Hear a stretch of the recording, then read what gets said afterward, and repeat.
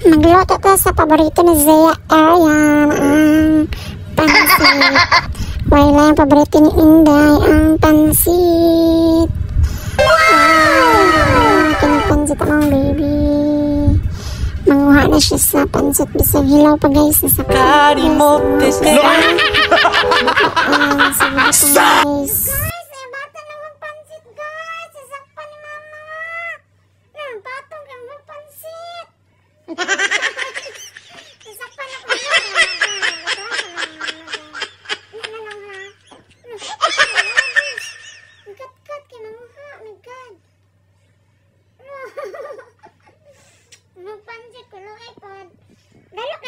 Ka nagpansit ang baby guys. Magsilak-silak yung mata basta na ipansit. Tingala ko nagkan ka pansit. Agoy gino. Ah, nanguha na di. Ay. Totoo na ni mama. Tigaan din ti ka ha.